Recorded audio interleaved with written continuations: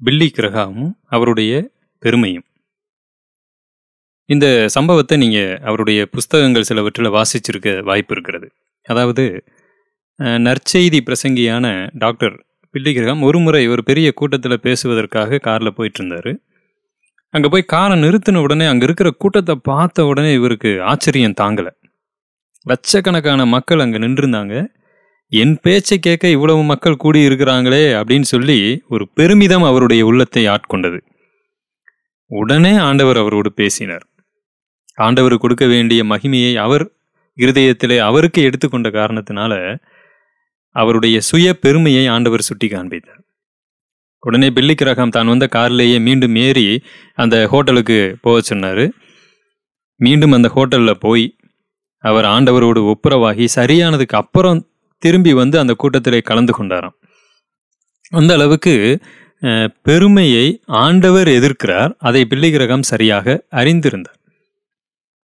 இன்றைக்கு விசுவாசிகள் தங்களையும் அறியாதபடிக்கு ஒரு ஆவிக்குரிய பெருமையிலே விழுந்திருக்கிறார்கள் என்று சொன்னால் அது மிகையல்ல. நான் சிலரை சந்தித்திருக்கிறேன். சிலர் சந்திக்கும் போதே எளிதாக அவங்க பேசுவாங்க. பார்த்தீங்கன்னா நான் பைபிளை ஆறு முறை வாசிச்சிருக்கிறேன். ஐந்து முறை வாசித்துட்டேன். ஒரு வகையில் அவங்களுக்கு பைபிளை பிரயோஜனத்திற்காக வாசித்தாங்களா என்னன்னு கேட்டால் இல்லை. நான் வந்து வாசிச்சிருக்கிறேங்கிறத அவங்க பெருமையாய் காண்பிக்கிறார்கள். இதுதான் இன்றைக்கு இருக்கக்கூடிய மிகப்பெரிய ஒரு மறைமுகமான பாவத்தை மக்கள் செய்து கொண்டிருக்கிறார்கள் என்பதற்கான ஒரு ஆதாரம் என்று நான் சொல்லுவேன்.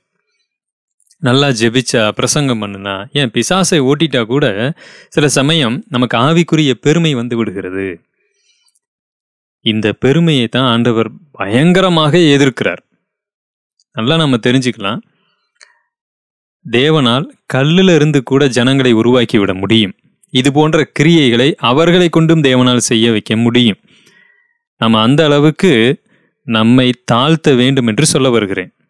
அவரை சுமந்து சென்ற கழுதை ஒருவேளை பெருமை கொண்டா எப்படி இருக்கும்? அப்படித்தான் இருக்கு இன்றைய விசுவாசிகளுடைய பெருமை.